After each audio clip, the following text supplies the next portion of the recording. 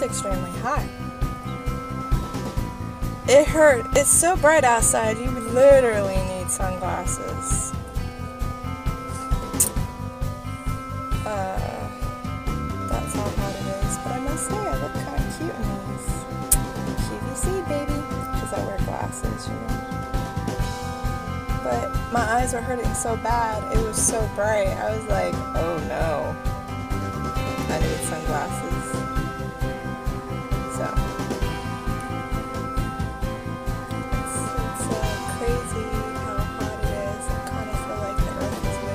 closer to the sun.